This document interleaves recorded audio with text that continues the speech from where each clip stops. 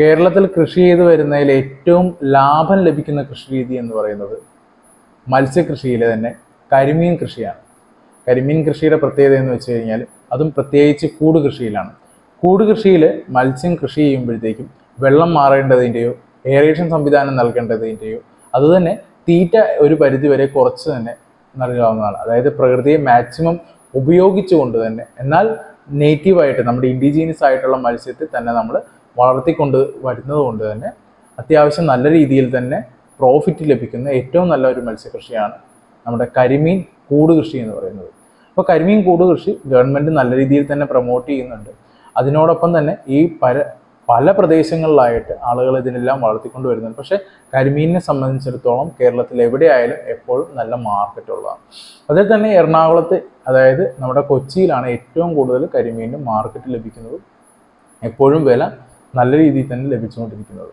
അപ്പോൾ നമ്മുടെ A B plan അനുസരിച്ച് നമ്മുടെ ചാനലിൽ തന്നെ നേരത്തെ നമ്മൾ പ്രൊജക്റ്റുകളിൽ നല്ല രീതിയിൽ തന്നെ കുറേ കൂട് കൃഷിയുടെ പ്രൊജക്റ്റുകൾ കൊണ്ടുവരികയും അത് എറണാകുളത്ത് പല ഭാഗങ്ങളിലായിട്ട് ഇംപ്ലിമെന്റ് ചെയ്ത് സക്സസ് ആയിട്ട് റൺ ചെയ്യുന്ന ഫാർമേഴ്സ് ഉണ്ടായി കൊണ്ടുവരികയും ചെയ്തിട്ടുണ്ട്.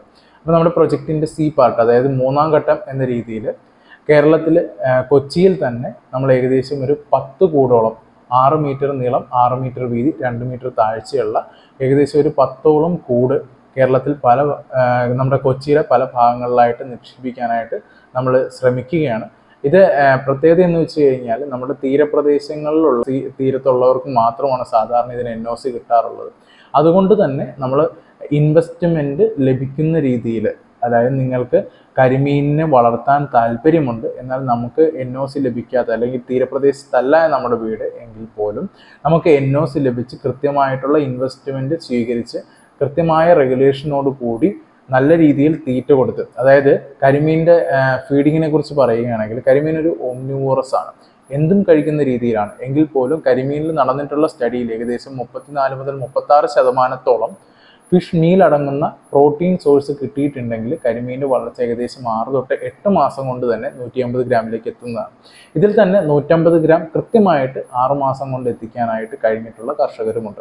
അതുകൊണ്ട് തന്നെ കൃത്യമായിട്ട് തീറ്റ കൊടുക്കുകയും കൃത്യമായിട്ട് ഹാർവെസ്റ്റ് ചെയ്യുകയും അതായത് രണ്ട് ഇടവേളകളിൽ ഏകദേശം ക്രിസ്മസ് അതുപോലെ തന്നെ ജൂലൈ മാസത്തിലെ ട്രോളിംഗ് ബാറ്റ് എന്ന അതായത് ആറ് മാസം ഇടവിട്ടുള്ള കൃത്യമായിട്ടുള്ള ഇടവേളകളിൽ മത്സ്യത്തെ ഹാർവെസ്റ്റ് ചെയ്യാനും വിൽക്കുവാനുമുള്ള സംരക്ഷണവും സംവിധാനവും നൽകുന്ന ഒരു പുതിയ പ്രൊജക്റ്റ് നമ്മൾ ചെയ്യാനായിട്ട് താല്പര്യപ്പെടുകയാണ്. അതായത് മറ്റൊന്നുമില്ല. ഏകദേശം ആറ് നമ്മൾ പറഞ്ഞ രീതി ആറ് ആറ് രണ്ട് എന്ന രീതിയിൽ നമ്മുടെ സ്ക്വയർ ഷേപ്പിൽ നമ്മളൊരു നല്ല നമ്മുടെ കേജ് നിർമ്മിക്കുകയും അത് ഇൻവെസ്റ്റ്മെന്റ് അനുസരിച്ച് ആളുകൾക്ക് നൽകുകയും അതിൽ നിന്ന് വരുന്ന വരുമാനം ആളുകളിലേക്ക് തിരിച്ചെത്തിക്കുകയും ചെയ്യുകയാണ് നമ്മൾ ചെയ്യുന്നത്. അതായത് എ ബി സി ഒരു മൂന്നാം ഘട്ട പ്രൊജക്റ്റായിട്ട് നമ്മൾ കൊച്ചിയിൽ അവതരിപ്പിക്കുകയാണ്.